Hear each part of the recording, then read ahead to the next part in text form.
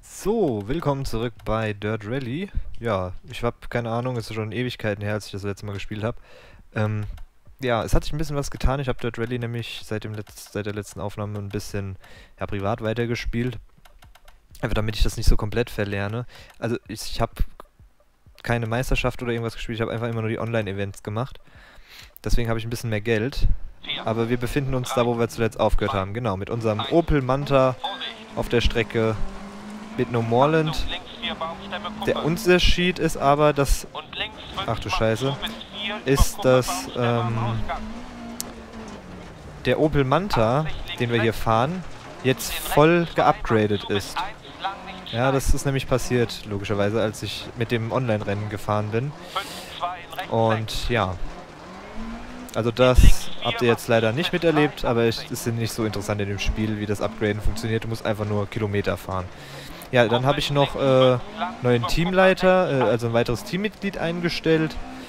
Ah, lauter so Sachen halt. Also Prinzip eigentlich nichts Besonderes. Wir befinden uns immer noch hier jetzt ähm, genau Group B Heckantrieb.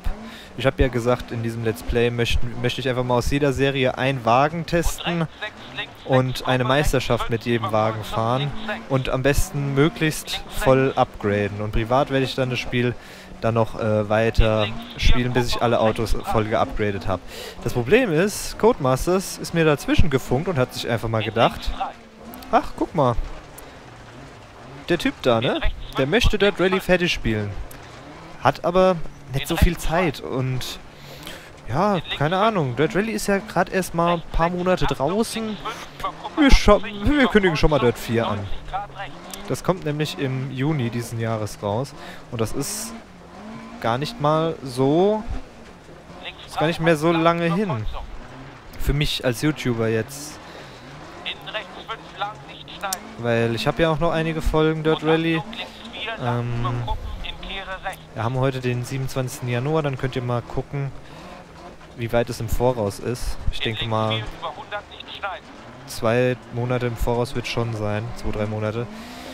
Ja, und das bringt mich jetzt ein bisschen unter Zeitdruck, was Dirt Rally angeht, weil ich möchte halt am besten 100 Folgen erreichen und ähm, euch auch alles zeigen, ja, das, was ich mir vorgenommen habe. Und ich würde halt dann auch gerne mit Dirt 4 weitermachen. Weil Dirt 4 soll nämlich genau wie Dirt Rally sein, nur äh, verbessert. Also Dirt 4 wird nicht ein Arcade-Ableger wieder, so wie es Dirt 3 war. Und ja, sondern das wird tatsächlich wie Dirt Rally, nur mit mehr Umfang. Weil man muss ganz ehrlich sagen, dieses Spiel, ich weiß nicht, es bietet extrem wenig Umfang für das, dass es Vollpreis ist. Muss man echt mal sagen.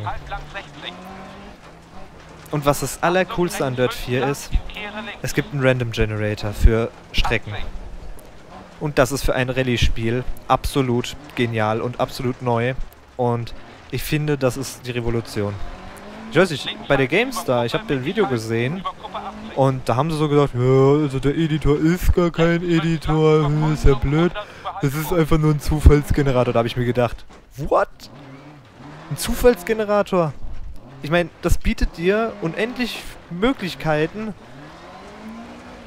ähm, ja, dieses Spiel zu fahren, äh, zu spielen.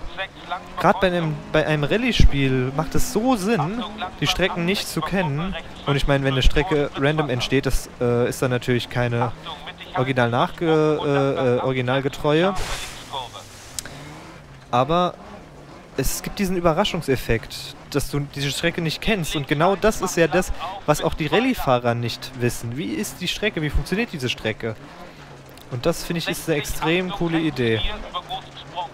Und ja, da gibt es noch mehr Modi.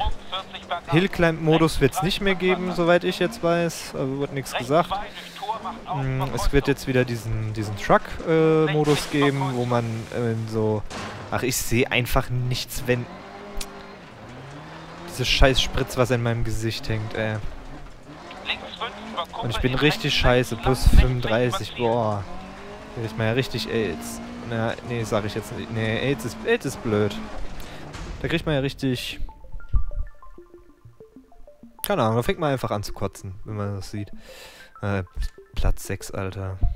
Oh, aber trotzdem in der Gesamtwertung um 1 gestiegen, weil der Rest wahrscheinlich kacke war. Ähm, ja.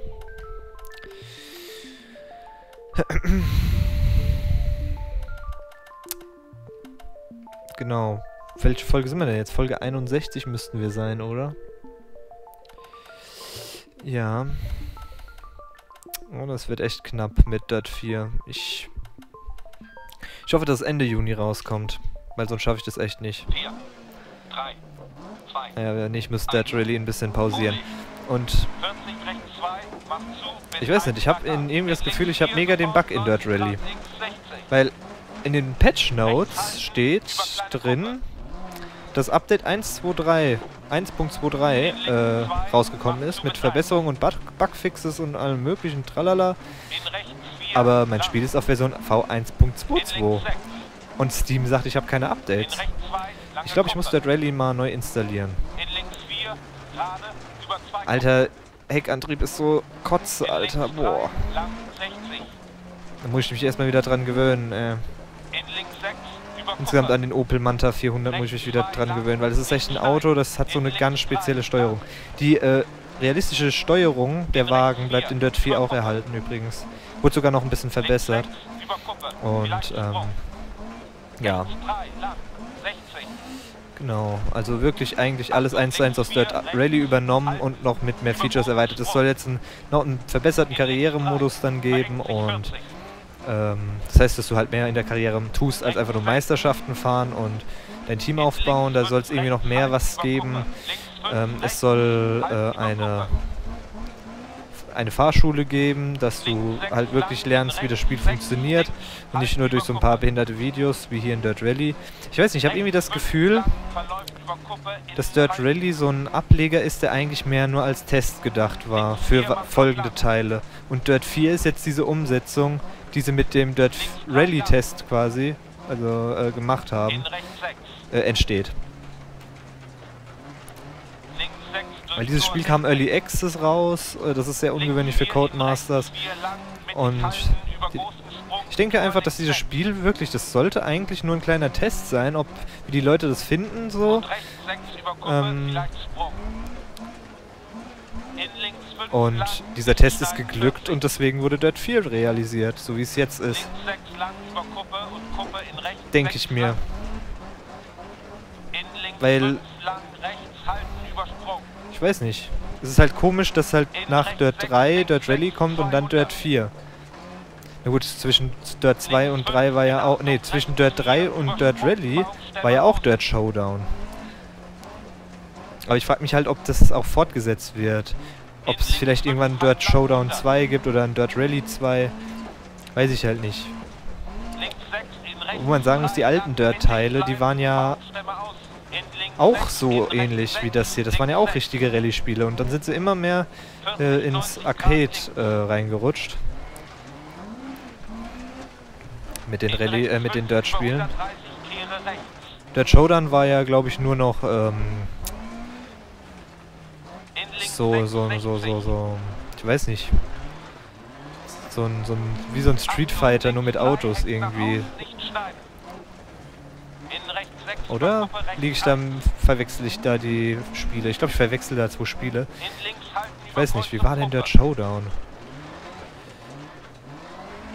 Auf jeden Fall, ich habe mal ein Vergleichsvideo gesehen. Also mein Kumpel, äh, also ein Kumpel von mir hat mir ein Video geschickt, wo Dirt 3 mit Dirt Rally verglichen wird von der Grafik her.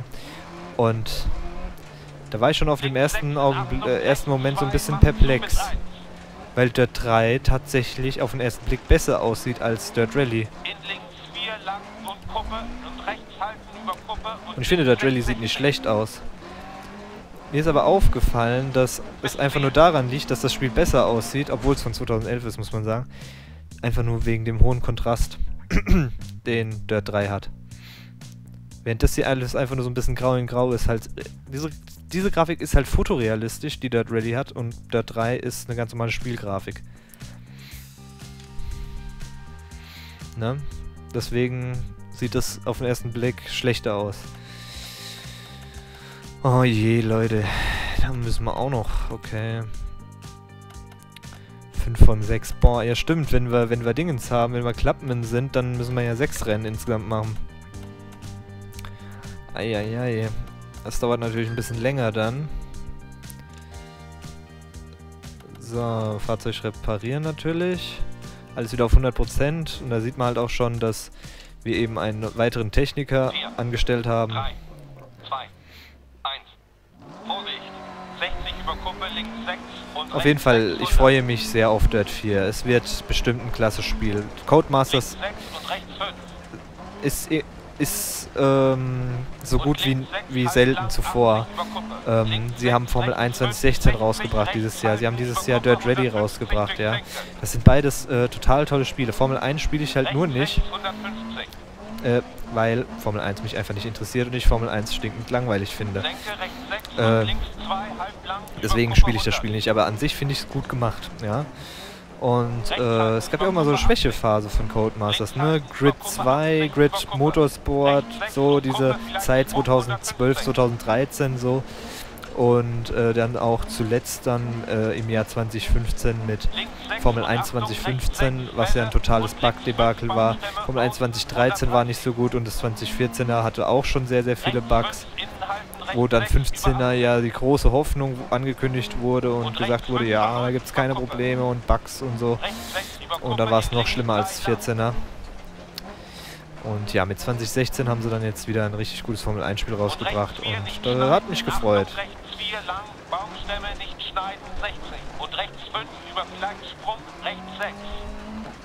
In Achtung, links 5 Tor und links 1 lang in Kehre rechts. Was jetzt viele schon kritisiert haben, ähm, bei Dirt 4 ist eben der technische Sprung von Dirt Rally auf Dirt 4 nämlich gar nicht. Also das Spiel sieht wirklich fast genauso aus wie Dirt Rally. Von, von der Technik her, also von der Grafik und so. Es gibt natürlich neue Strecken und so und ähm, ja. Wird es natürlich geben. Aber vielleicht kommt da ja auch noch ein kleiner Grafik, ein kleines grafisches Update. Ähm, ich weiß nicht, ob das wieder abfotografiert sind, ob es wieder eine fotorealistische Grafik ist bei Dirt 4. Dazu habe ich einfach einfach zu wenig gesehen. Ich habe nur gesehen von der Wüstenstrecke den Content. Und da ich nicht weiß, wie es in der Wüste in Wirklichkeit aussieht, kann ich auch nicht sagen, ob das fotorealistisch war oder nicht. Hier kann ich sagen, das ist fotorealistisch, weil ich kenne eben diese Wälder. Aber ich bin halt kein... Keiner, der in der Wüste lebt, ne? Deswegen weiß ich, kann ich das nicht genau beurteilen. Ähm, aber ich fand doch allgemein, dass es ein bisschen besser aussah auf den ersten Blick. Kann natürlich auch sein, weil es Wüste war. Wüste sieht immer allgemein geiler aus. Ähm, obwohl, es kommt drauf an farbenfroher sah es halt aus, das Spiel. Aber das kann halt, wie gesagt, nur daran liegen, dass mit dem roten Sand und so, ne? Deswegen, äh, ich lege mich auf nichts fest. Und außerdem interessiert mich die Grafik überhaupt nicht. Ich äh, fand Dirt Rally auch grafisch immer sehr ansprechend und das finde ich auch weiterhin. Ähm, auch wenn einige meinen, dass die Grafik veraltet ist und so, also das kann ich überhaupt nicht zustimmen. Das sieht das ist, äh, das ist super gemacht. Die, das Spiel läuft super. Es sieht gut aus. Und es spielt sich super. Was willst du mehr?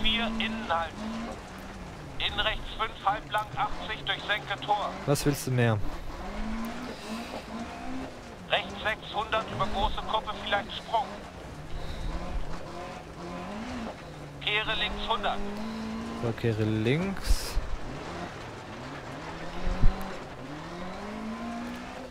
Na, das ist doch mal eine bessere Zeit jetzt. Na, das ist natürlich jetzt besonders scheiße gelaufen. Auf dem letzten Meter noch 15 Sekunden drauf bekommen. Sonst wäre ich bestimmt besser gewesen. Oh, das ist jetzt ärgerlich. Ich glaube, ich muss längere Dirt Rally Folgen machen. sonst schaffen wir das nicht mit mit äh, mit allem zeigen und so. Ich meine, es gibt ja auch noch den Hillclimb-Modus, obwohl da muss ich dann halt nur ein Auto zeigen, weil Hillclimb ist eine Gruppe. Aber es gibt auch noch drei Gruppen von jeweils äh, Motocross, aber das ist ja auch nicht so viel Aufwand, weil das nur, weil man da nur ein Rennen fahren muss.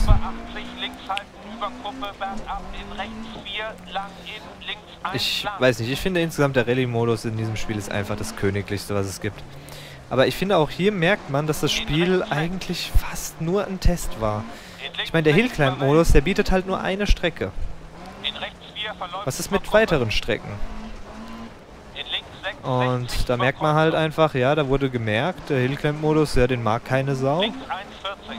Also ich glaube nicht wirklich, dass irgendjemand den Hillclimb-Modus nur spielt. Und deswegen haben sie auch keine Maps nachgeliefert für diesen Modus.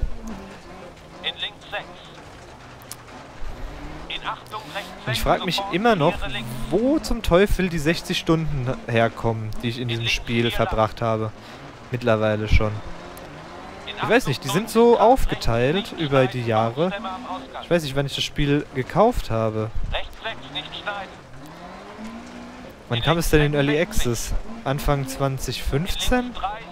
April 2015, soweit ich mich erinnern kann. Und raus kam es dann Anfang 2016, oder? Wenn ich mich jetzt nicht irre. Rechts 6, Kuppe 130. Rechts 6 in Vorsicht, links 6, mittig halten, übersprungen. In rechts 4 lang.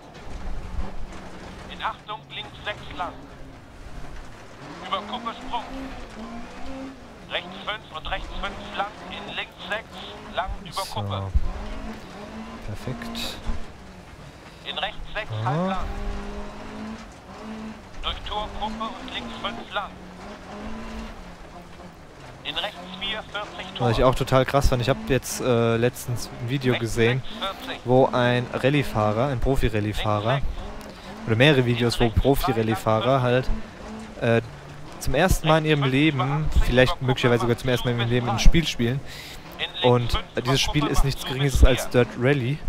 Und äh, die haben halt da so ein volles System aufgebaut, halt mit drei Bildschirmen, sodass du Rundumsicht hast, also ein realistischeres Sichtfeld.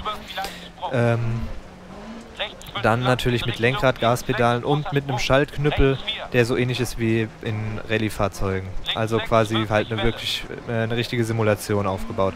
Und der Dirt, äh, äh der, der Rallye-Fahrer zum ersten Mal das Spiel gespielt und der ist so gut gefahren durch das Spiel, der ist durch das Spiel durchgebreddert wie sonst was.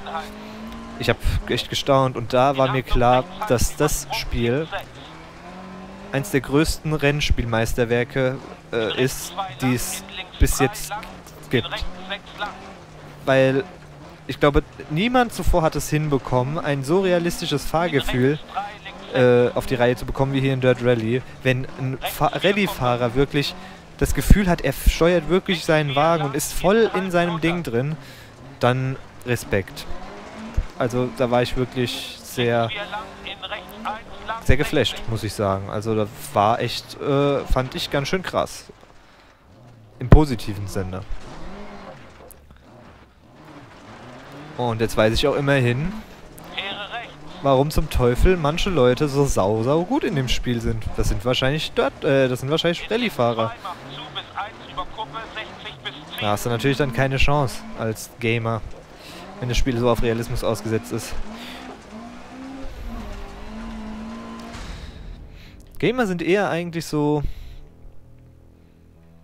weiß nicht, dafür bekannt, so was, was Unrealistisches zu wollen. Oh, 72.000, boah. Vertrag abgelaufen. Müssen wir mal gucken dass wir den Vertrag wieder verlängern. Ne?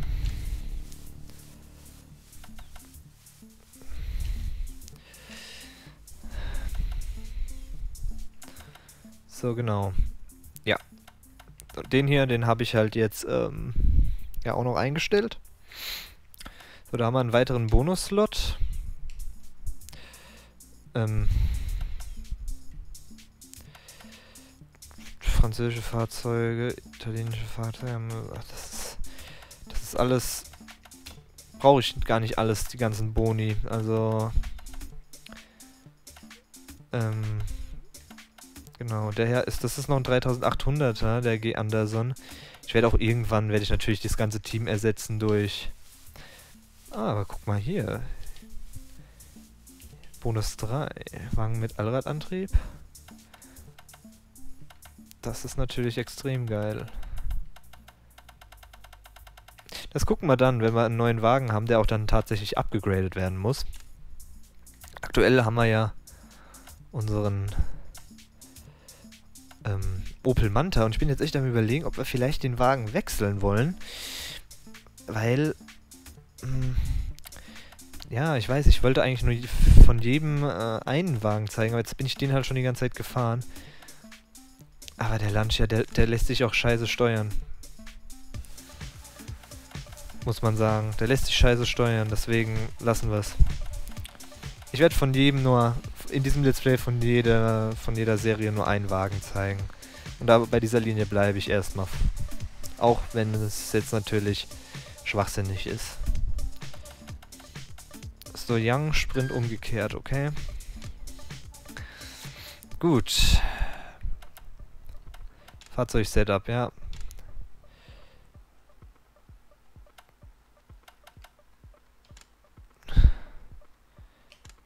Genau, und hier kann man wieder auf Standard um umstellen. Einstellungsslot, ja. Wir bleiben, wir bleiben bei Standard. Logischerweise. Ich bin, dafür bin ich nicht Profi genug, dass ich wirklich ähm, mein Auto auch für mich anpassen kann, so konfigurieren kann. Ist dann wieder für die Profis gedacht. 3, 2, 1. Vorsicht, 80, senken, in rechts 6.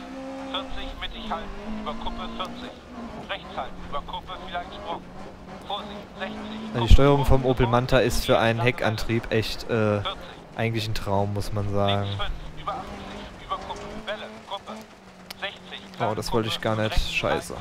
Ich wollte eigentlich äh, Kupplung treten.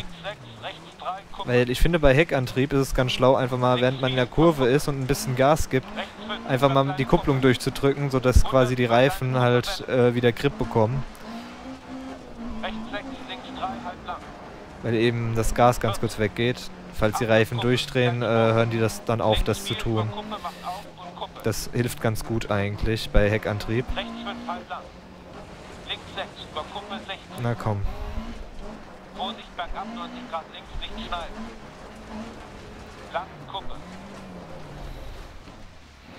Rechts 3 lang, 16. Na komm, jawohl, grüne Zeit, Alter, mit einer Sekunde übrig. Das werde ich natürlich jetzt wahrscheinlich nicht halten können, die ganze Strecke über. Nächsten Sektor werde ich wahrscheinlich in Minus geraten, weil dafür bin ich einfach nicht gut genug, um hier wirklich jetzt die Maximalgeschwindigkeit rauszuholen und das ist auch wahrscheinlich gar nicht so gewollt. Aber ja, jetzt bin ich, ich bin hier viel zu langsam an der Stelle. Hier hätte man eigentlich anders durchfahren sollen. Und auch können. Aber ah, das habe ich nicht hinbekommen.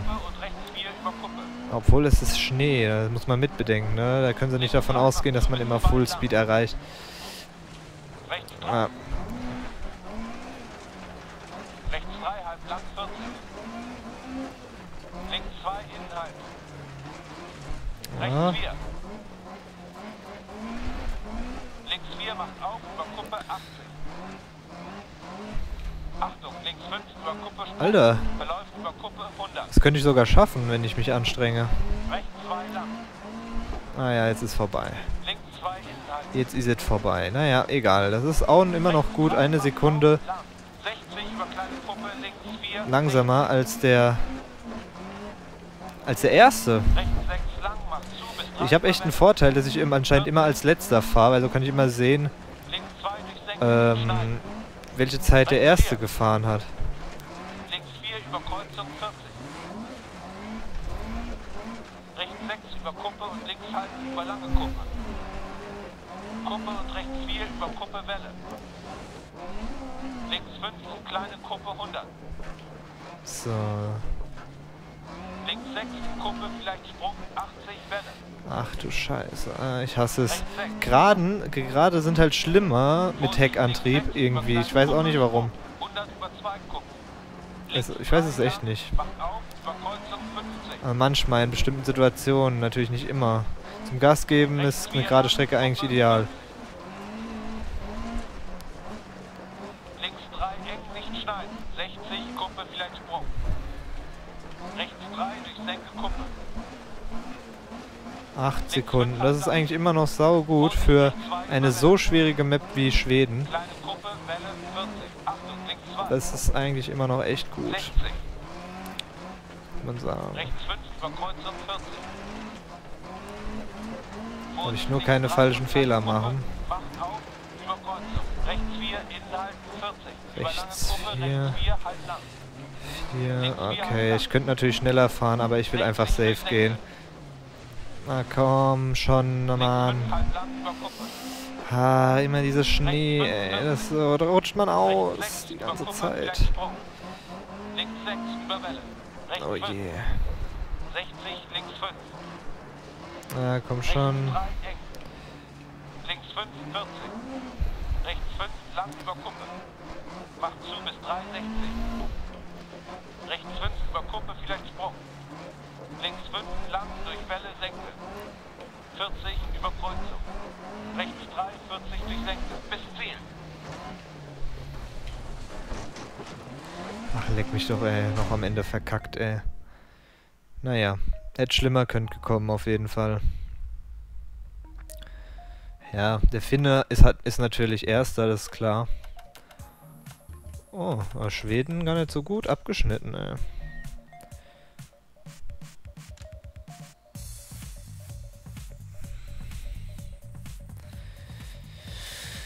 So, Björn Klangen kommt als nächstes dran. Stoyangen Sprint, ah ja, wieder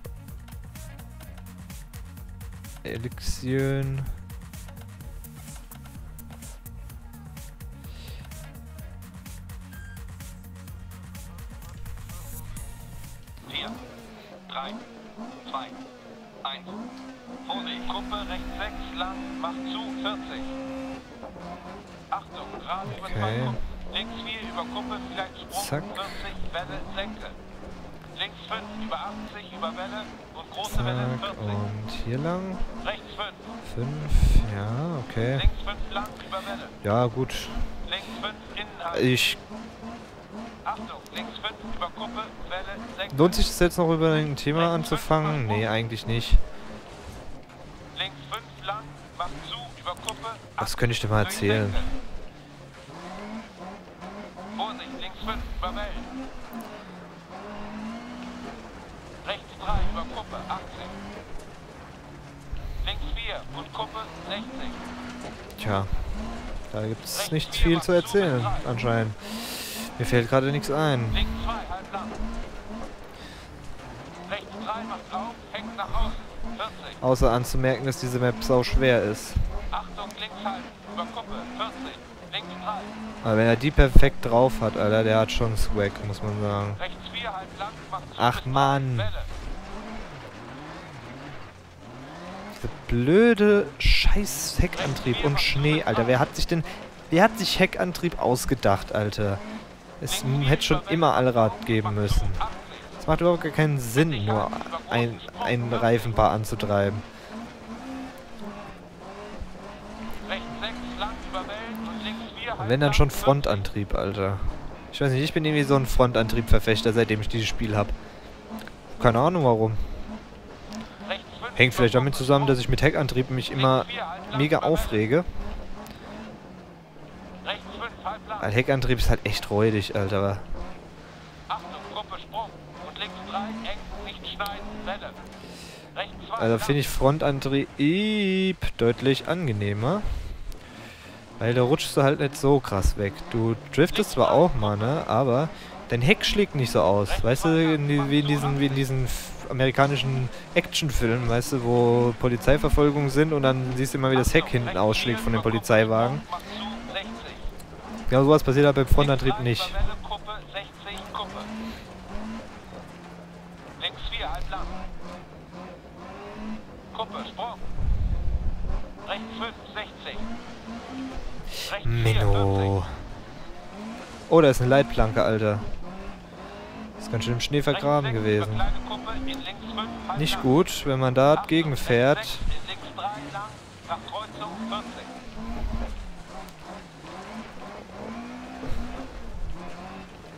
Kuppe, Okay. Rechts 5 lang und links halten, über Kuppe, vielleicht Sprung. Rechts 6, 60, Kuppe. Links 5, macht zu, über Kuppe, hängt nach außen, 60. Rechts 6, durch Senke, Achtung, Okay. links halten, über Kuppe, Welle, 60. Alles klar. Wir fahren noch dieses Rennen schnell fertig, Leute, und dann werde ich auch die Folge beenden und eine weitere aufnehmen. Barmer-Bilder, wer biggebubigst.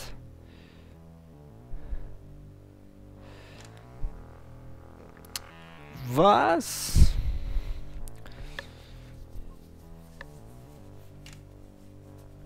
Na, schauen wir uns mal den Meisterschaftszwischenstand an. Position 4 halt. Oh, jetzt wieder Stir Young Sprint-Abbilder.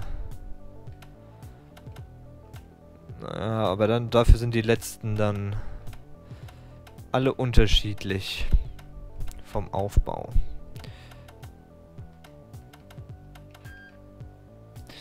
Jo gut. Zwischenstand. Ich wollte eigentlich gucken, Zwischenstand Meisterschaft.